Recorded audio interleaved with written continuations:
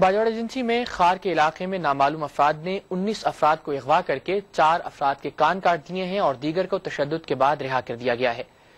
गुजशत रात मकामी लोगों की जानब से हुकूमत को सिक्योरिटी की जमानत दिए जाने पर नामालूम अफराद ने इन लोगों को अगवा किया और इनको तशद के बाद आज सुबह रिहा किया गया, जबकि चार अफराद के कान भी काट दिए गए हैं। इस वाक़े के बाद इलाके में लोगों में खासा खौफ हरास पाया जाता है।